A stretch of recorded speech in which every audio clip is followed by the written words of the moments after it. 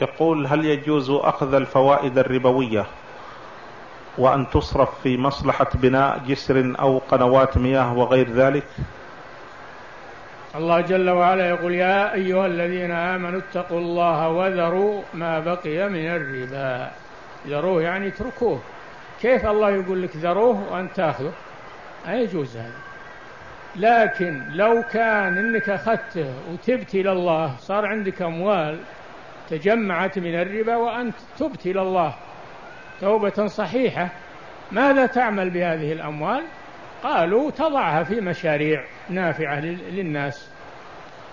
هذا إذا كانت عندك وتبت إلى الله. أما إنك تاخذها من الناس تقول بتصدق بها بضعها ما يجوز. نعم. لعن الله آكل الربا وموكله شاهديه وكاتبه. نعم.